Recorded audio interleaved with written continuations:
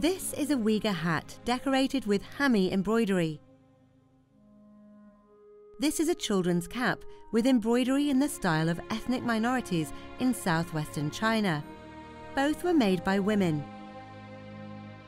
From daily necessities to objects of beauty, the passage of time has seen needlecraft develop into an art.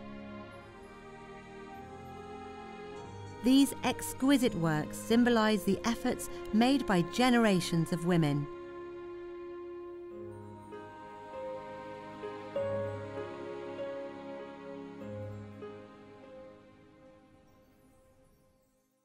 Kesi is a kind of silk fabric made by the interweaving of weft and warp. More importantly, it's also a traditional Chinese craft that results in the creation of precious artworks. In the Northern Song dynasty, it was used only for weaving royal garments. Later, it was used to copy classic calligraphy works and paintings.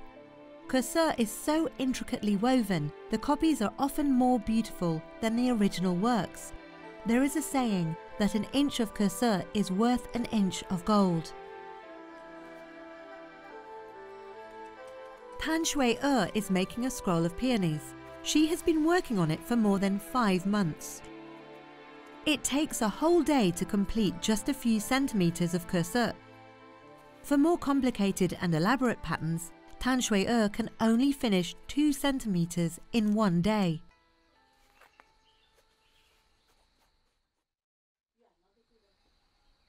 Shuttles of different specifications, tapestry beaters of various sizes, and a loom make up the equipment needed to weave Kesi. Like other textiles, Kesi is also woven on the basis of warp and weft.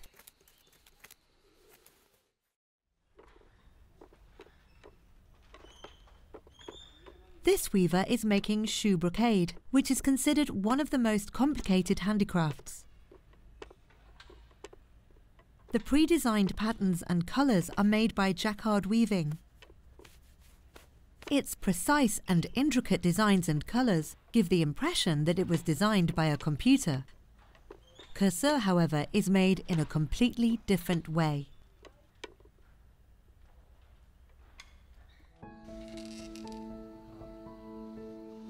The warp runs through the entire work, while the weft is only intertwined with the warp where the patterns are created, rather than covering the whole piece. The warp serves as the foundation while the weft creates colours and patterns. Kesi brings interweaving of the warp and weft into full play. This is also the craft's most distinctive feature.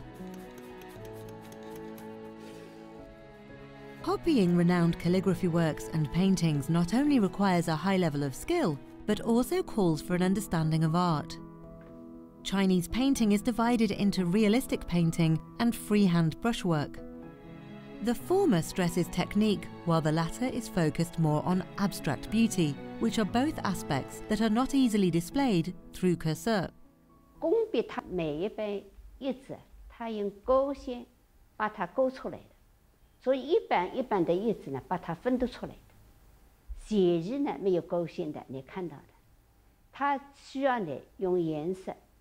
把它层次分出来。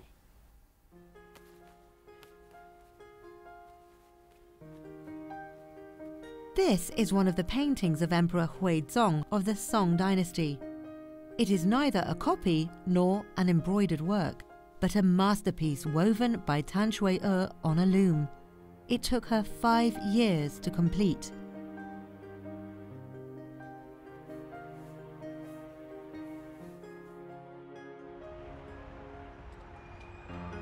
In 1956, to carry forward Kesi, the Suzhou Embroidery Research Institute recruited a group of young women to learn the craft.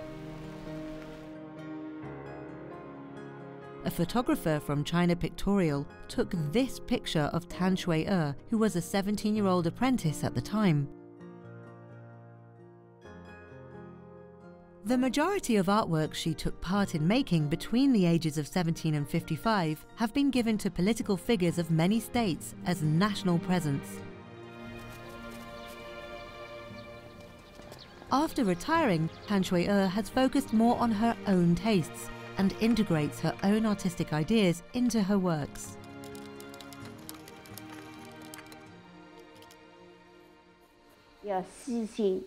要静心，还要恒心，坚持下来，还要悟性。最主要是要悟性。This is a freehand brushwork which Tan Shui Er is copying. In the original, the peonies are drawn with color powders according to Chinese ink wash techniques. For Kesi artwork, the most challenging part is the transition between dark and light colors The colour variations in one stroke have to be broken up into numerous units, like countless coloured pixels being woven in bit by bit. For example, Tan Shui-er now uses 23 kinds of pink colours for the peonies, while other weavers usually use just 8. 它七八个色做出来等于平的，没有立体感，颜色也丰富，它立体感又又强。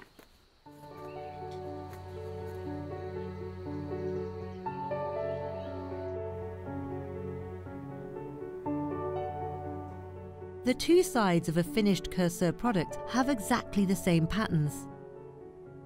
Under the light, the patterns seem like they have been carved on, which is why Kesi is also known as carved silk.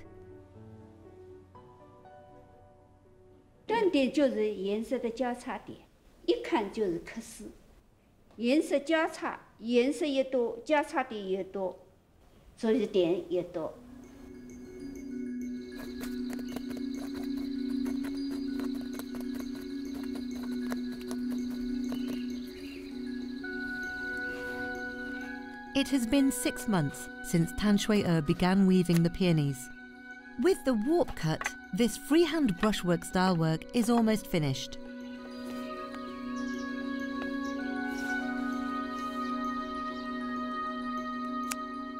When the thread residues are clipped, two identical patterns on the front and back emerge. This Se work is more than a copy of the original painting. It is a work of art in its own right.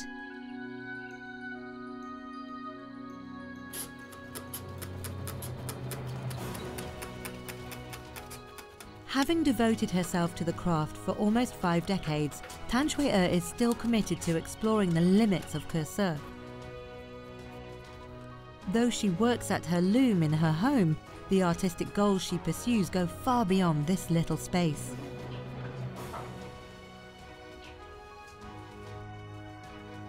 Women are able to achieve their best in the process of perfecting their workmanship while expressing the beauty from deep within their souls.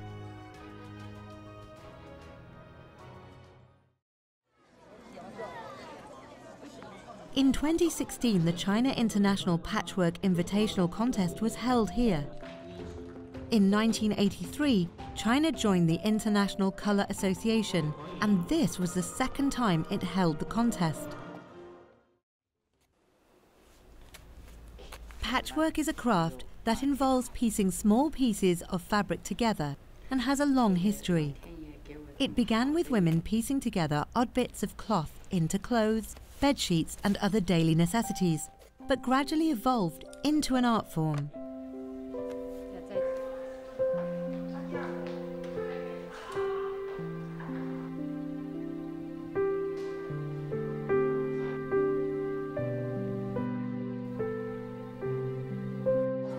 The judges for the contest all wear a patchwork flower on their chest. The decorations are all made by Jin Yuan Shan, a master of colours whose artworks are famous in the international community and represent the highest level of needlework in China.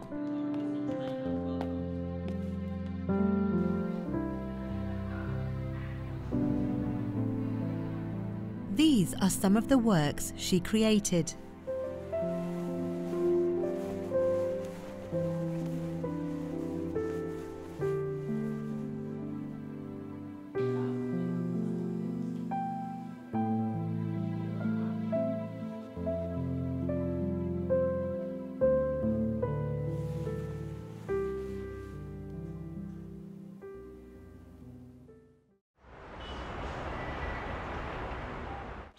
Yuan Shan lives in Acheng District, Harbin City. The vendors in the morning market have always been curious about her. She doesn't just come here to buy groceries. She also collects the waste that the vendors throw away. Sometimes she stares at the goods for a long time but doesn't ask about the price.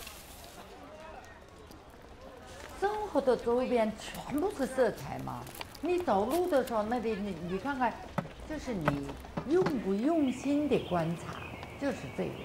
你用心和不用心，就是这个是色彩呢，就得你生活的周边。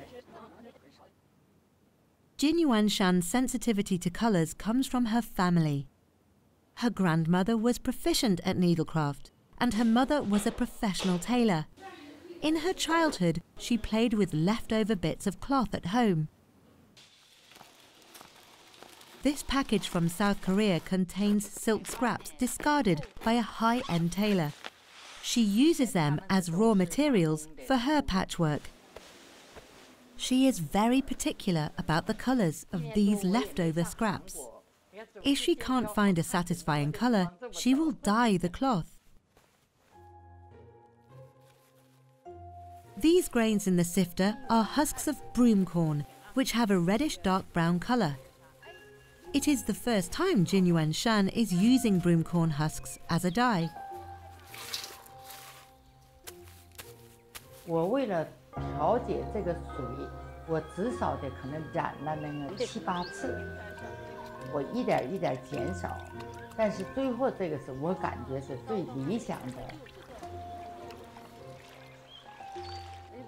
The ideal color is dictated by her mood.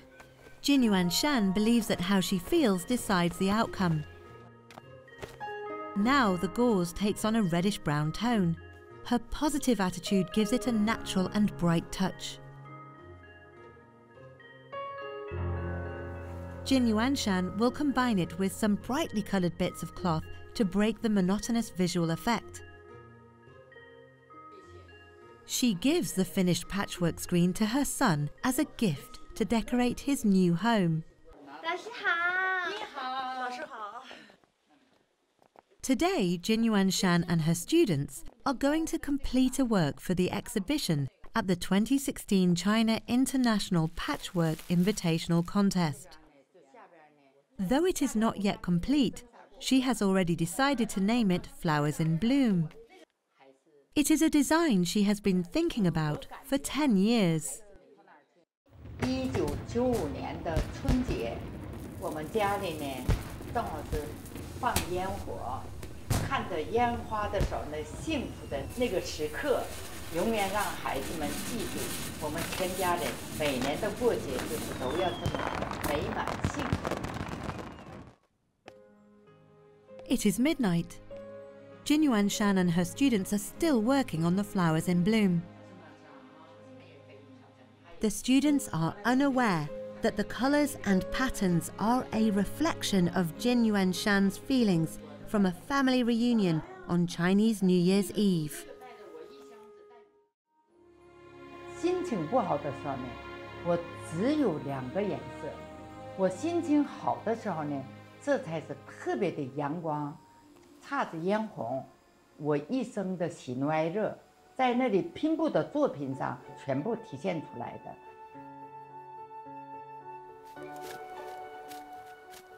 Jin Yuan Shan's sensitivity to life allows her to turn scraps of leftover cloth into blossoming flowers. When the work is complete, Jin Yuan Shan takes half a day off.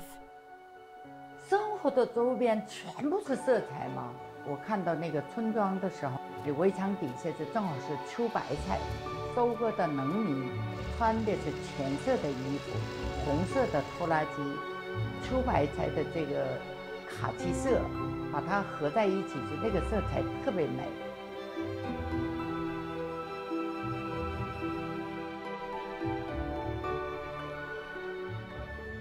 Jin Yuan Shan's Flowers in Bloom is hung at the entrance of the exhibition hall and immediately causes a sensation.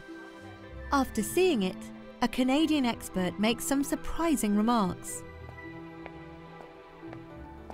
加拿大的拼布艺术家，他说的这个作品肯定得精神病做的，不是这个执着的精神锻炼，这么大的作品做不出来。完了，他就转圈就眼泪啊，紧紧地握着我的手，他哭啊，我也掉眼泪，翻译也掉眼泪，说他说的。我能看到你一生的喜怒哀乐，都在这个作品上。不，你就把在这儿，把在这儿，这样后置。往下对，董威像那谁大唐的手呢？董董威往下点，再往下点，你们。哎呦，哎呀，太帅了。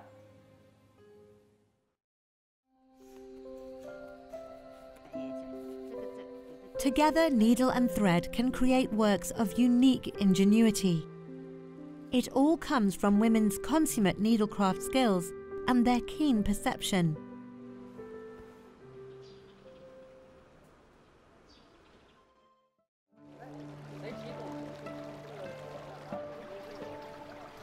The features of southern China can be seen everywhere in Suzhou. The city has a network of land and water routes, as well as exquisite, elegant, and well arranged classical architecture. A microcosm of ancient China lies behind each wall. When Yao Jianping is in Suzhou, she spends every evening embroidering. Sometimes she doesn't work and just comes for some peace and quiet. The artwork behind her is called A Man of Noble Character depicting bamboo shadows in the sunset. It is a piece of Suzhou embroidery created by Yao Jianping. 苏绣从古到今，文人辈出，精致、小巧、细腻，色彩就是高雅。这个应该跟苏州的这个文化背景有关。Suzhou embroidery has a history of over 2,000 years. The passing on of this craftsmanship through generations is inseparable from the city's landscapes. Suzhou embroidery is deeply influenced by the traditional Chinese spirit of humanity, just like the city's classical gardens. Both Suzhou's embroidery and its classical gardens are crucial parts of Chinese art. Shen Shou, a mastery of Suzhou embroidery, has had a huge influence on Yao Jianping. Shen Shou was a famous embroiderer in the early 20th century. Through her verbal instructions, a book recording the techniques and patterns she used in her works was born. It was the first book on embroidery techniques in China's history and the first summary of 18 commonly used stitches. 沈寿大师非常了不起， 在平针绣的基础运用了光源这个概念，研究这个丝理、方向、配色方法，所以呢，称为叫仿真绣。他那个年代之前是平面的，就没有立体的，而到了沈寿，他就是把这个光线应用到了针法里边去。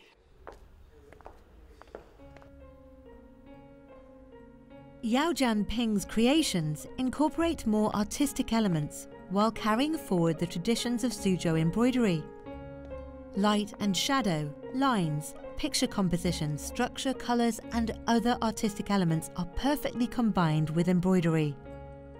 With the progress of time, the needle is used as a pen to create ever more challenging artworks.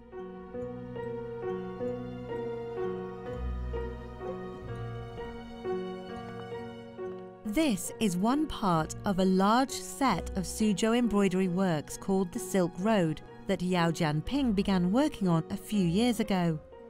This part is entitled Heading West out of Chang'an. For a long time, Yao Jianping had wanted to use embroidery to recreate historical events. 丝绸之路，两千多年的历史。那么我们的苏绣，它也是两千多年历史。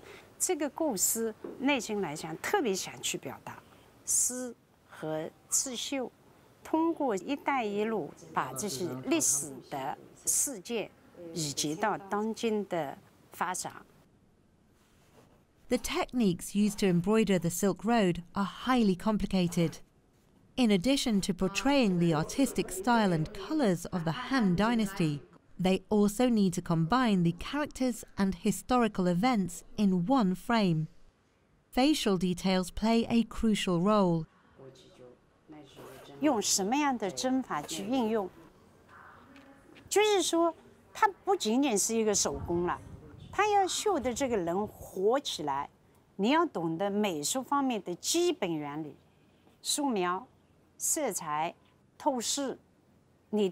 用什么样的针法去应用，就是说，它不仅仅是一个手工了，它要绣的这个人活起来，你要懂得美术方面的基本原理，素描、色彩、透视，你对各种针法的灵活发挥。 The depiction of characters calls for a high level of skill. Heading west out of Chang'an depicts the story of Zhang Qian being sent to the western regions on a diplomatic mission. The artwork combines various embroidering methods, which Yao Jianping calls integrated stitch. 平针绣适合于哎绣一朵小花，就很精美。乱针绣它就是比较大刀阔斧。龙针绣呢，是把这些就是平针绣里边的一些特点，仿真绣里边的一些要点，乱针绣里边的一些要领，把它进行综合了，综合使用，包括还有一些就是说盘锦绣啊、打子绣啊，各种各样的那些绣法。再融合在一起，变成自我，这个过程实际上是最关键的。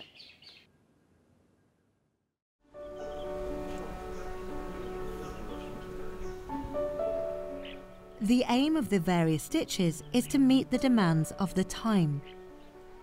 Suzhou embroidery will continue evolving as techniques for artistic expression improve.